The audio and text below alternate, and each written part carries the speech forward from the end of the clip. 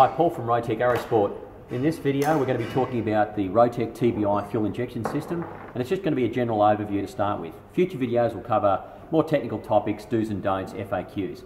But in this particular video, we're going to have a brief introduction on the TBI itself. So, how did the TBI start for Rotec? Well, it all started about 2008 when we were handed an Ellison throttle body fuel injection system, which we tried as an alternate over the Bing carburetor we were blown away with just how well that unit performed and we're absolutely uh, convinced that that was the way to go.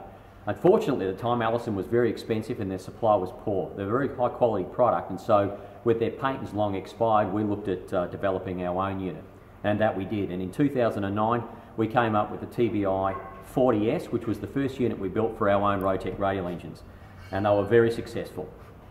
Uh, shortly after that period of time, uh, other people came to us and said, hey, listen, you've got them for the Rotec engine, what about for Jabirus and Continentals and the O320 and all the myriad of engines and variety of engines that are out there? And so before we knew it, we were making a variety of TBIs, which includes the TBI 48, which I'm holding here now, which is suitable for the O360.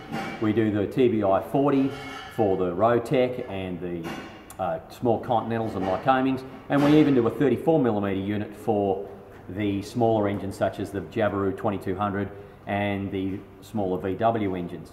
But we do do a TBI to suit just about every engine up to 250 horsepower.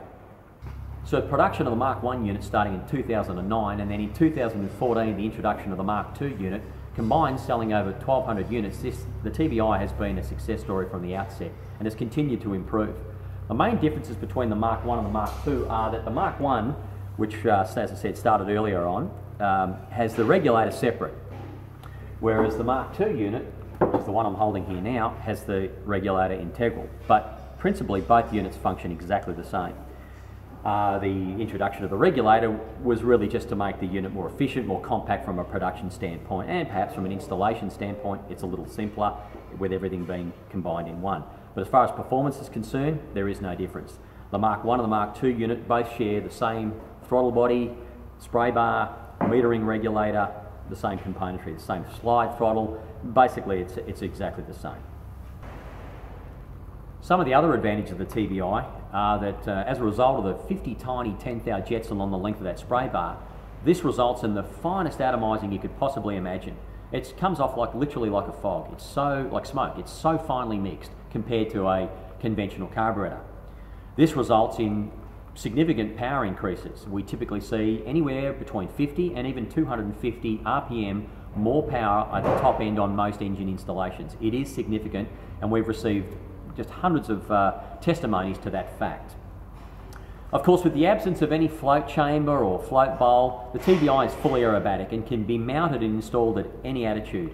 And as I said, it can be flown at any attitude, including extreme aerobatics. Well, that just about wraps up our TBI introduction. I hope you got something out of it. Um, if you're interested in purchasing one of these, you can contact us via email at sales at or you can get in contact through our website at rotecaerosport.com. In future videos, we'll be covering more in-depth topics related to installation, troubleshooting, do's and don'ts, frequently asked questions.